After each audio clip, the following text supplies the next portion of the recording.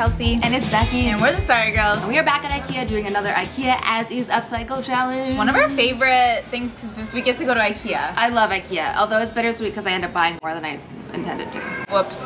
Whoops. I don't think we really have a theme this week. We're gonna go in, see what inspires us, figure something out, and then transform into something way cooler. I also wanted to let you guys know to subscribe.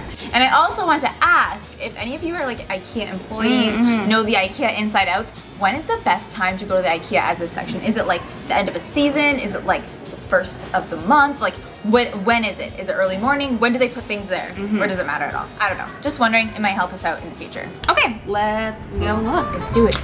That couch is cute. It is cute. Not like I would do anything to it or need it, but as is, it's cute. As is, it's cute as is. As is. Oh my god.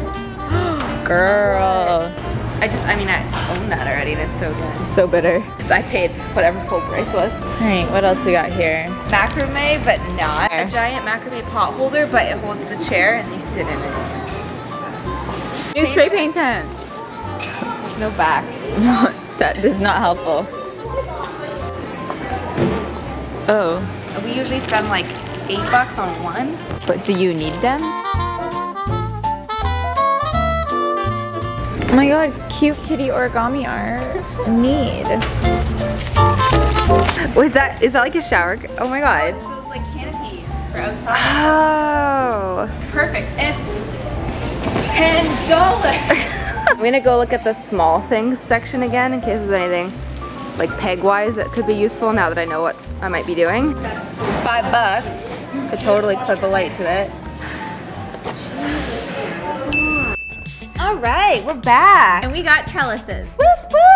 So these actually surprisingly aren't even that expensive from Ikea if you want to do this anyways, but we got them for around $10. In the as is section, we got three of them because it was just such a good deal. And I was feeling inspired by the trellis. So we're gonna do some cool stuff with them. I'm like your creepy neighbor peeking over your fence. What are you guys doing? Is your barbecue better than mine? we got three of these. I think I'm gonna take two and make something, mm-hmm. and you can take one and make something. Yeah, I already know what that something is and it's gonna be really cool. Me too. I think these are gonna be great for dorms. Boop, boop, back to school, what up? Organizing slash shared spaces. slash affordable to make. Ooh. So my idea for my trellis is to expand it and use it as a giant, like almost floor to ceiling wall organizer or like pegboard type thing. You can hang stuff on, get organized, and it's gonna be really, really, really cute. So the first step is actually I'm gonna paint this because while I love wood things normally, I think it'd be fun to do it in a color. And you guys always say we do neutrals, so I'm branching out and we're gonna do like a dark gray this time. I guess gray is a neutral. That is a neutral. It's a dark, it's not white and it's not beige, branching out. So I'm gonna open this up and get painting with a brush and a roller. So while that dries, I'm gonna make the little pegs to go on my wall rack. So I'm using some 7 8 inch dowel and I'm gonna cut them to about three inches in length and just cut a couple and then we can paint them.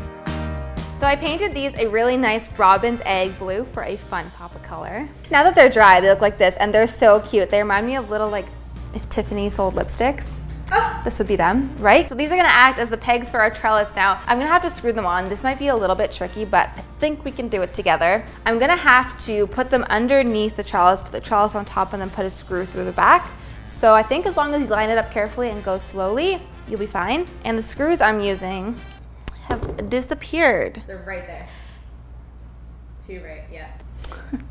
I'm using ones that are actually pretty long because I want them to A, go through both layers of the trellis and also go in the peg, you know, enough so that it's holding it in place. Yeah, is it working? Dude, okay, it's not that hard. You can do it. Cool. Nailed it. Okay, all my little pegs are on. And they're really cute. I like this color combo. I did seven, but of course you can do as many or as little as you want. So the last thing I had in mind actually came from another IKEA as is product we found, and that is this Hektar lamp, and it was only $5, which is super, super affordable. So I'm gonna attach it to the top of the trellis, and then it can light up all my items. Huh. You can't put it on an angle, right? And then tilt that? Yeah. Brilliant. Okay, so I screwed that lamp on. It was actually really simple. And the best part is that I could put it on an angle and then it swivels so it still points down straight. This is gonna look so cute hung on the wall. I cannot wait to style it with all my pegs. And the best part we actually realized is although there's screws in it, it's still like kind of collapsible. So uh, that student life, if you need to make things smaller because you're moving or whatnot, that's great. All you need to do is put two screws in the wall when you go to hang this so that it doesn't collapse when it's leaning on your wall. Or removable sticky hooks that are really strong because those are great. We use them for everything.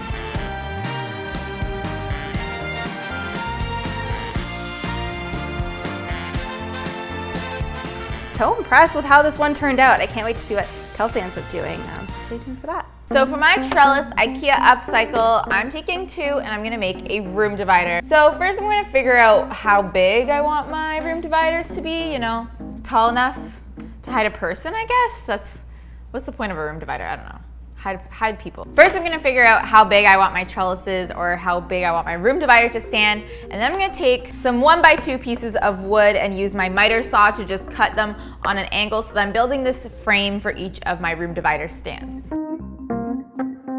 So I've now cut out all of my pieces. What I end up having is four smaller pieces, which are 27 and a half on the long side. And I have four longer pieces, which are 72 and three quarters on the long edge. So I'm gonna be using two shorter pieces and two longer pieces to make my frame for each of my room divider panels. Now that I have them all cut out, my next step is to sand them. And then I'm going to be using, I think a staple gun to attach them to my trellis. We shall see.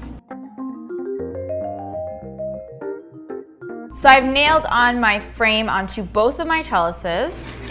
Looks a little something like this. And I obviously want everything to match, so now I'm just gonna go ahead and stain my frame a similar brown stain color.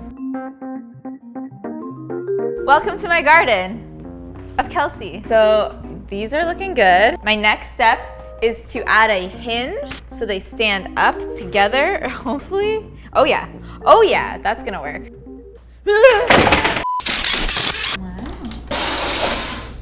Wow. Wow. The hinges are on, the room divider works, it stands up on its own, and the last step is to add some coverage to this, so it's actually a privacy screen and a room divider. I picked up this at Ikea, also in the as is section. This is $10, regularly 30 It's like a big like awning cover that you would attach to your patio. And I'm gonna use it as fabric for the back of my room divider. My fabric is on for complete privacy. Let's see how this thing looks.